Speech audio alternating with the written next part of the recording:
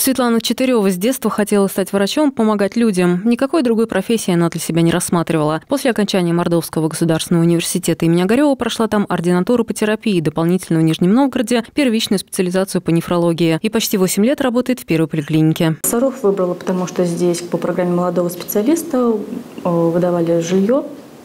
Поэтому, естественно, меня это заинтересовало. Приехала сюда.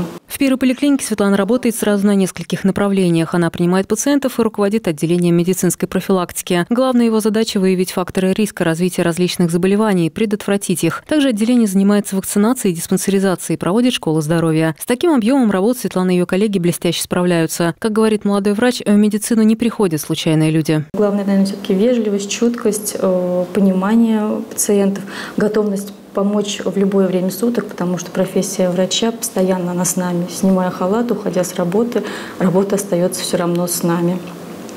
И стрессоустойчивость обязательно, потому что приходится работать с большим количеством людей и сопереживать вместе с ними. 3 октября Светлана и ее коллеги отмечают профессиональный праздник – День врача. Наша редакция поздравляет медиков, желает им счастья, здоровья, терпения и семейного благополучия.